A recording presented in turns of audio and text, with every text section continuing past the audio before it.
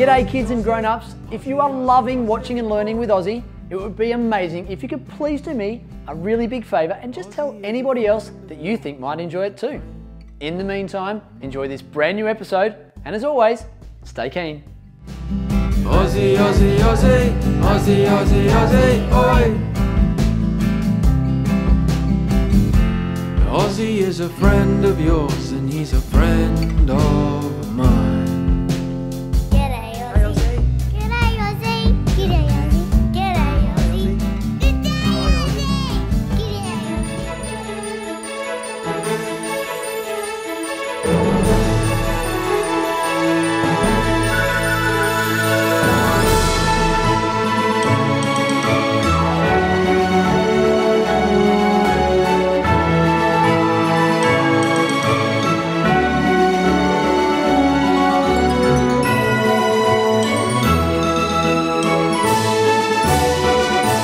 G'day kids, Ozzie here.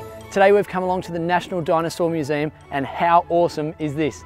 We're going to get inside and learn about lots of different dinosaurs, but specifically we're going to learn about herbivores today. Now can you help me out? Do you know what a herbivore is? That's right, a herbivore is a plant eater. Now did you know that herbivores are the biggest dinosaurs? That's right, they're really cool. Now I can't wait to get inside and check them out. So come on, let's get stuck in.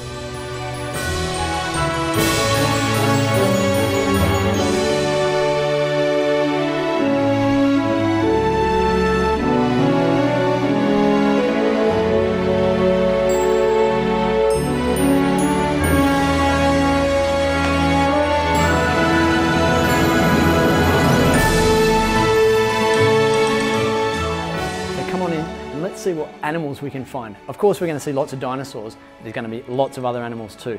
Now, to be a dinosaur, it needs three things. It needs to have straight legs, needs to have scales, and it also needs to lay an egg. So let's go and see what kind of dinosaurs we can find. Now, kids, obviously there's no dinosaurs that live anymore. They lived millions and millions of years ago. But there are three main periods that the dinosaurs lived. Now, the first one, I found this awesome little sign just here, is the Triassic period, and that's from like 250 to 200 million years ago. So just a little bit older than mum and dad. Then the second period is the Jurassic period, and that is from 200 to 145 million years ago, still a very, very long time ago. And then the third and the more recent one is the Cretaceous period, but that's still 145 to 65 million years ago. So a super, super long time ago. But we, through research, have found out so much about dinosaurs. Now come and check this guy out. This is one of my favorites, and this is the Stegosaurus. Come and check it out. All right, kids, now this is called a Stegosaurus. It's an amazing animal, and look at these bony plates at the top here. Now, when these guys were first discovered, they actually thought that these might have been wings. So they might have thought that the Stegosaurus could actually fly. But no, these are actually bones, and you can see that these little nerves that go through here, they can go to the end of those bony plates and change color. So they can change from this light pinky red to a bright red so that they can attract a mate or also be used as a defense mechanism. Now, speaking of defense mechanisms, check out this bony tail, these bony spikes at the end here, and that's called a thagomizer, which is a pretty cool word. But the Stegosaurus use that and they swish their tail around and they can use those spikes to fend off any prey if they're being attacked. There are lots of cool facts. Speaking of cool facts, these big dinosaurs have the smallest brains out of any of the dinosaurs. Now kids, if you put your hands together like that, that's approximately the size of your brain in your head at home. Now, if you do that with your hands, that's like the size of a walnut, and that is the size of the brain in these Stegosaurus. Now, that would be a small brain in your head, wouldn't it? But can you imagine that brain in a dinosaur this size? Very, very small, but they look cool, they're super awesome. Let's go and see what other dinosaurs we can find. Come on.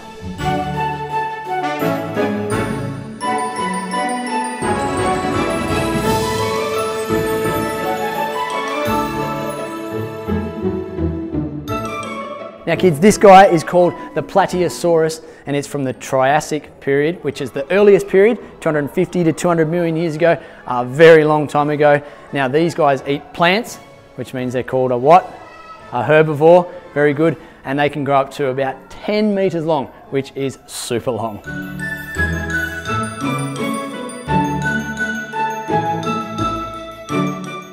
Now this one here, kids, this one is called a Paracyclotosaurus. Can you say that at home? Maybe get the help of mum and dad. A Paracyclotosaurus. It's a tongue twister. But he's an awesome looking animal. It's actually not a dinosaur because it has bent legs. So dinosaurs, what do we say? It needs to have straight legs, scales, and lay eggs. So this is not a dinosaur, but it hunts its prey by laying in water and it goes just like a crocodile. But it's also got webbed feet. So for that reason, we call it, its other name is a crocofrog. Pretty good one. Paracyclotosaurus or a crocofrog.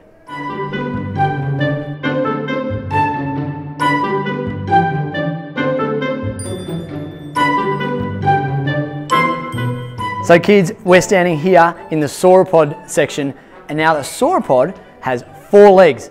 They have huge big bodies, big long necks and super long tails. They are the biggest dinosaurs in the world. In fact, the biggest dinosaur in the world is a sauropod. It's 39 meters long and it's called an Argentinosaurus. Now these things, if you can imagine 39 meters is like the length of about three school buses or bigger than this whole building that I'm standing in here. That's long. Now kids, this that I'm standing next to is the back leg bone of a Diplodocus. Now look how tall it is. A Diplodocus could grow up to about 35 meters tall, but if you have a look, this is where its knee would have been, and that is just its leg, as tall than Ozzie. It's massive. Now if you come over here, these are bones from a Diplodocus tail.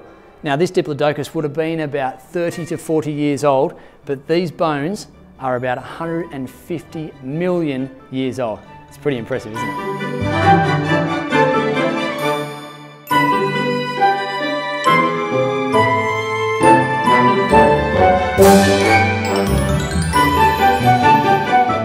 Now this over here, kids, is a replica of one of the most complete skeletons ever found in the whole world.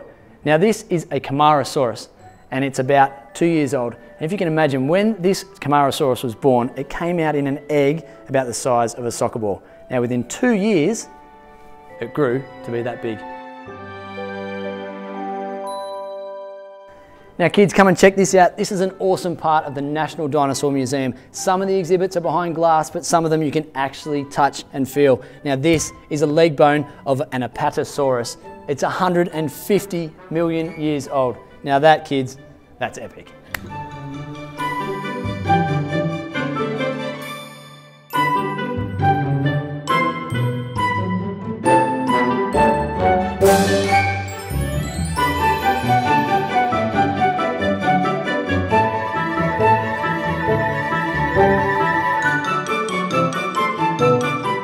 Now kids, we are in the Australian dinosaur section here. It is interesting to know that most of the dinosaurs in Australia were herbivores. We obviously had lots of tasty plants in Australia, and the most famous Australian dinosaur is this guy here, and his name is a Muttaburrasaurus. Now one of the awesome features of the Muttaburrasaurus is this big lump on its nose. Now can you guess what he used that for? No, it wasn't for headbutting. Do you headbutt with your nose? No, I don't think so.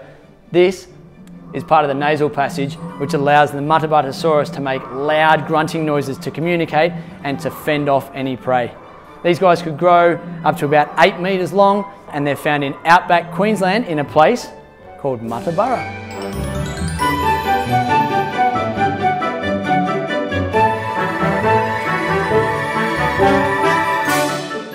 Now kids, this particular dinosaur here is called a Kunbarrasaurus. The interesting fact about this dinosaur is that it is the most complete dinosaur fossil in the whole of Australia. Now you can see by looking at this photo kids, it's actually a mummified skeleton of a dinosaur. You can see the bones, you can see the armored plates and the skin. Now you can see down here kids, the stomach contents. So by looking at that, we know that the last meal of this dinosaur was ferns and flowers. So it was a herbivore.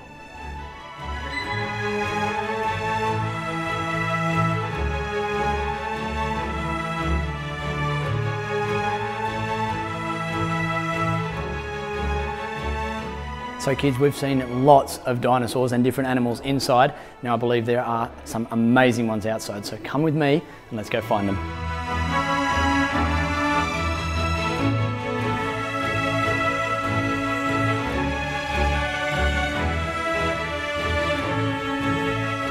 So check this out kids, this is a Triceratops. This is pretty much a life-size replica of what it would have looked like. It would have been about seven to eight meters long, but check out these massive horns on its head. And they would use those to defend off any predators like T-Rexes. These guys have little teeth because they were herbivores, so they wouldn't really hurt me. He's my friend.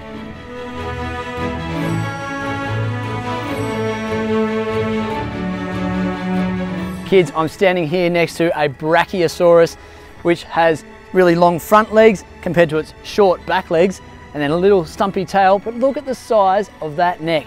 And it is super tall so that it can reach high up into the tree to eat those leaves because it is a herbivore. That's right, kids. Awesome stuff.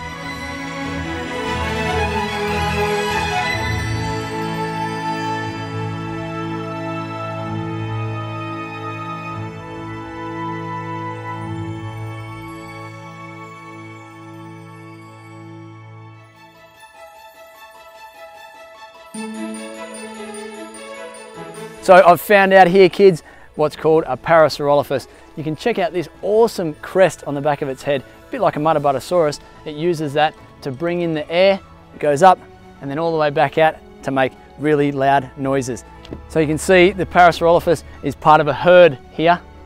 This one's definitely my favorite because check out the colors, green and gold, just like Ozzie.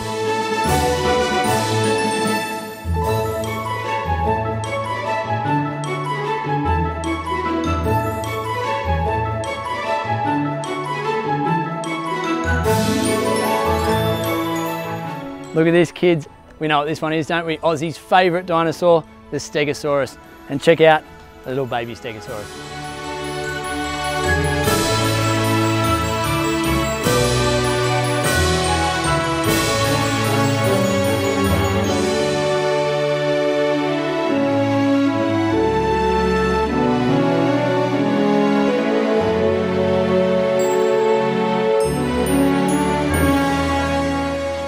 Wow, kids, what an incredible experience it's been here today at the National Dinosaur Museum right here in Canberra. I hope you've learnt lots, I certainly have. Make sure you come along and check it out if you're ever in Canberra. Kids, better get out of here before these dinosaurs get me. We'll see you in our next video, and until then, stay keen. Ozzie, Ozzie. Hey kids, did you have lots of fun today watching Ozzie? I hope so. Did you know that we've got a heap of Ozzie episodes on our YouTube channel? If you haven't already, go back and have a scroll through. I reckon you'll find some others that you absolutely love. And while you're there, why don't you hit subscribe? That way you won't miss out on any of our new videos that we bring out. We'll see you again soon, kids. Until then, stay keen. Oh, and by the way, did you happen to find the hidden Ozzie icon in that video? Yeah, make sure you look closely because they're in every single video. That's right. Stay keen, kids. Ozzie, Ozzie, Ozzie, Ozzie, Ozzie, Ozzie, oi! Ozzie is a friend of yours, and he's a friend of